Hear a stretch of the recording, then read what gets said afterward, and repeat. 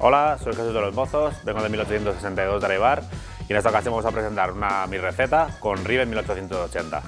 Lo primero que vamos a hacer va a ser enfriar la copa. retiramos el agua sobrante y servimos dos onzas de ginebra Ribe 1880. A continuación añadimos la tónica muy despacito sobre el primer hielo.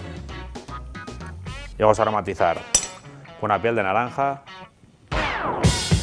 y con un bitter de lavanda, que es como le gustaba tomarlo al dueño de Ribes.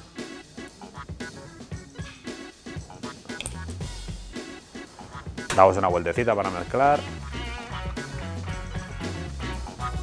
Y aquí está mi receta para Ribes 1880, que lo disfrutéis.